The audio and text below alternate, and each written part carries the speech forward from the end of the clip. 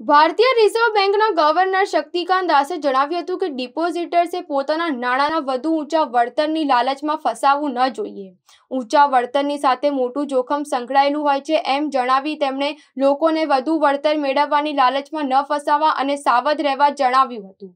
Bank વધુ વ્યાજ વળતર આપી રહી છે એ જોઈને જાણીને થાપણદારોએ ત્યાં રૂપિયાનું રોકાણ કરતાં અગાઉ વધુ સાવધ થઈ જવું જોઈએ. સામાન્ય અનુભવ એવો રહ્યો છે કે જ્યાં ઊંચો વ્યાજદર કે વળતર મળતા હોય ત્યાં જોખમનું પ્રમાણ પણ ખૂબ જ ઊંચું રહે છે. જો કે એવી અનેક સંસ્થાઓ હોય છે જ્યાં રોકાણનું ઊંચું વળતર આપવામાં આવે છે અને છતાંય તે સલામત હોય છે. આમ છતાંય રોકાણકારોએ સાવધ રહેવાની જરૂર છે, એમણે તેમ કહ્યું હતું. બેંક સાથે સંકળાયેલ બેંકનું મેનેજમેન્ટ, બેંકનું બોર્ડ, બેંકની જુદી જુદી committee, audit committee, risk management committee કે અન્ય કોઈ પણ નિયામક કમિટીની આ સંયુક્ત જવાબદારી રહેશે એમ તેમણે કહ્યું હતું. બેન્કિંગ વ્યવસ્થા પર ચાંપતી નજર રાખવા, નિયામકોની માર્ગદર્શિકા વધુ કડક બનાવવા આરબીઆઈ દ્વારા વ્યૂહ ઘડવામાં આવી રહ્યો છે. જેથી કરીને બેંકોની કામગીરી લવચીક રહે અને તે સરળતાપૂર્વક ચાલી શકે એમ તેમણે કહ્યું હતું.